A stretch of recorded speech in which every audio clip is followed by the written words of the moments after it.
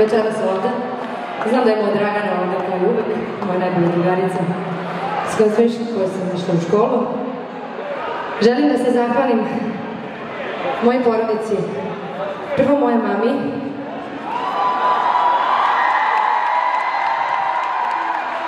koja je udarovala.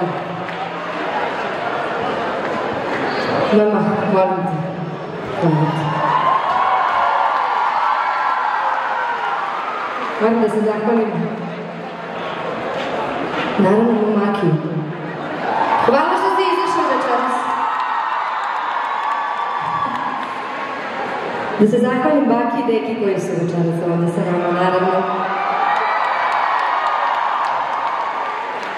Moram da se zahvalim mog Filipu, koji je u foku, Petru Pašiću, Bogu, Brki,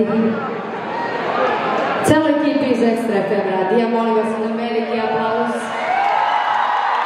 Bogu, ne znam da li sam rekla. Uvek mislim da ću nekome zaboraviti. Moram da se zahvalim audio timu, da se zahvalim mojim devojkama, pratećim vokalima i mojim Katarini. I celom bendu za moje divne momke, molim vas,